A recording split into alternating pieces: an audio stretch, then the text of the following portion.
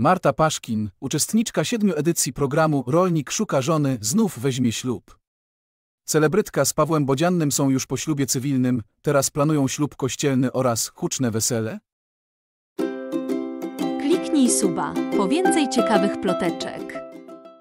2023 rok dla uczestników show Rolnik szuka żony będzie obfitował w śluby.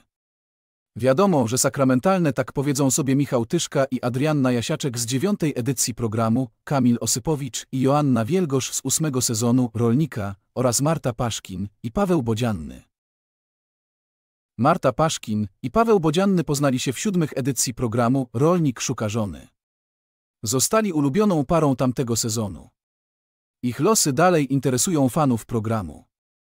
Oboje są aktywni na Instagramie, gdzie informują o swoich dalszych poczynaniach. Para w ubiegłym roku wzięła ślub cywilny. Była to skromna uroczystość, która odbyła się 12 marca 2022 roku, a państwo młodzi świętowali tylko w gronie najbliższych.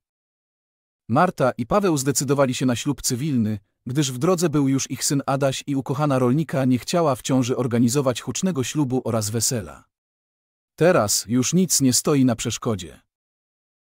Paweł Bodzianny w jednej z rozmów z mediami pochwalił się, że w 20 223 roku złożą z ukochaną przysięgę w kościele. Wybrali z Martą także miejsce, gdzie odbędzie się ich wesele. To pałac w Brunowie, gdzie poznali się przed kamerami. Kiedy nadejdzie ten wielki dzień? W jednej z ostatnich relacji na swoim Instagramie Marta zdradziła przybliżony termin drugiego ślub z Pawłem.